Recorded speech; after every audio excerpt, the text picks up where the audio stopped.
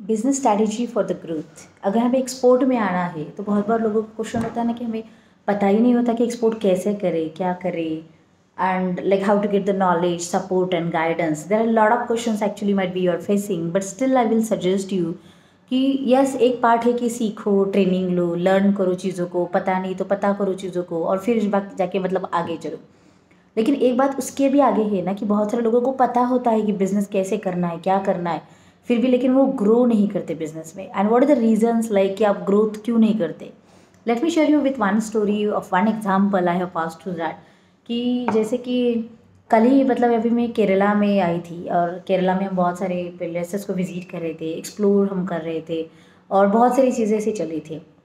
वहाँ पे हम एडकल केव्स को गए थे वायनाड में. And I this was just like one of the good experience है ना कि लाइक बिज़नेस हर कोई सिखाता है हमें. हम सीखते कितना है, उतना इंपॉर्टेंट है। और उस बंदे ने मतलब एडिकल केयर्स में हम गए थे, वहाँ पे जाते समय एक ट्वेल्व डी का शो है। सो एक स्पॉट उन्होंने रखा है, वहाँ पे उन्होंने सारा सेटअप किया है। और ट्वेल्व डी वैसे वो शो मतलब वो रन करते हैं वहाँ पे। जैसे हम थ्री डी फोर डी देखते हैं, वैसे वो ट्वेल्व डी का है।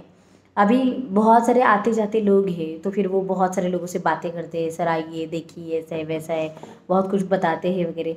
हमारा ग्रुप था एक्चुअली और दो तीन लोग ग्रुप के आगे थे तो उनके साथ वो बात चल रही थी।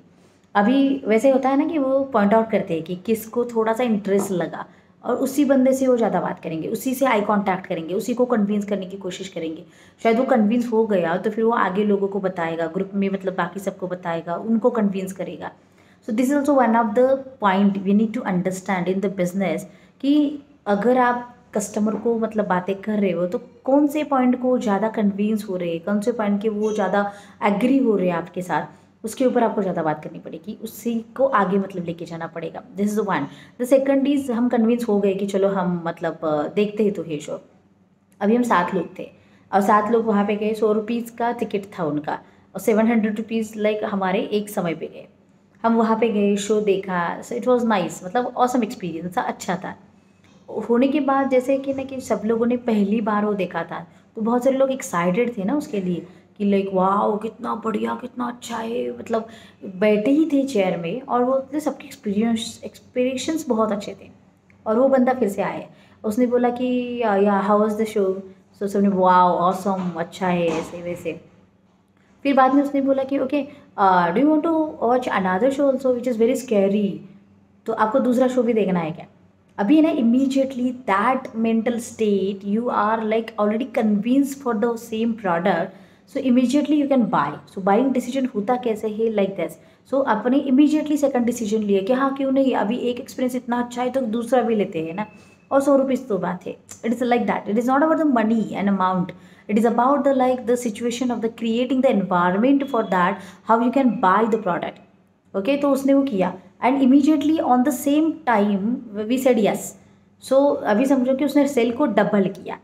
Okay this is the second thing कि आपको कैसे लोगों को मतलब कन्विंस करना है creating the experience creating the like environment ताकि लोग आगे चल सकें। एंड द थर्ड थिंग कि हम बाहर आए, बहुत अच्छा लगा था, सब लोग मतलब हँसी मज़ाक चल रहा था। फिर उसके बाद वो बंदा फिर से आया and they requested me like ma'am can you please give us review और वो जब हम सात लोग हम बातें कर रहे थे तो हम मराठी, हिंदी ऐसे मतलब हम बोल रहे थे। अभी केरला, साउथ इंडिया है तो वहाँ पे एक तो केरला मतलब उनकी लैंग्वेज होंगी या फिर इंग्लिश थोड़ा बहुत बोलते हैं।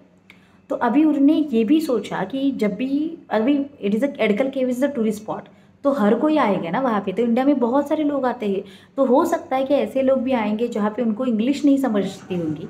या फिर ऐसे लोग आएँगे कि जिनको वहाँ पे जिनको वहाँ पे आ, मतलब उनकी लैंग्वेज नहीं समझती होगी। तो फिर वो कैसे समझेंगे? तो उसके लिए उन्होंने मुझे रिक्वेस्ट किया था कि ma'am can you please give us review in Hindi आप हिंदी में बोलोगे क्या? हिंदी में हमें आपका फीडबैक चाहिए।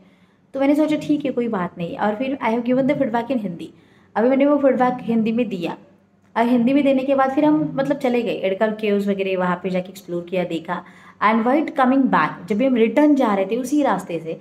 और फिर उन्होंने फिर से मुझे मतलब बुलाया ma'am thank you so much and आपने जो भी फीडबैक दिया उस रिव्यू के uh, मतलब जो भी रिव्यू था और उससे दो फैमिलीज़ मतलब दो ग्रुप आए थे।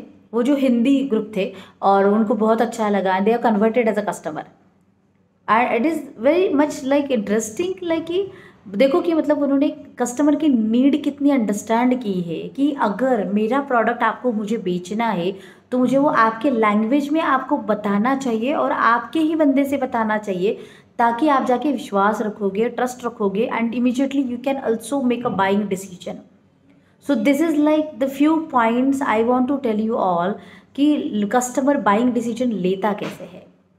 उसके लिए। सो so, ये भी डोमेस्टिक का एग्ज़ाम्पल होगा but yes the customer mentality is same everywhere in the world और product and service is everywhere the same in the world also so आपको वो समझने की ज़रूरत है कि इट इज़ नॉट अबाउट कि मुझे एक्सपोर्ट कितना पता है। इट इज़ अबाउट एक्सपोर्ट में बायर से कस्टमर कन्वर्ट करने के लिए how you are building the trust with them ताकि वो बाइंग डिसीज़न वेरी आसान मतलब बहुत आसानी से ले पाए आपके प्रोडक्ट के लिए।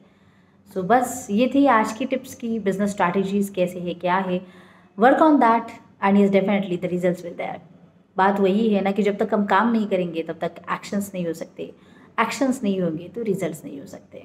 सो इसीलिए start taking action from now and yes definitely if you want to learn more and more about the export import business W W dot K D Sushma dot com we have uploaded many more courses there you just go there learn repeat revise and yes definitely take action with the confidence and become an exporter.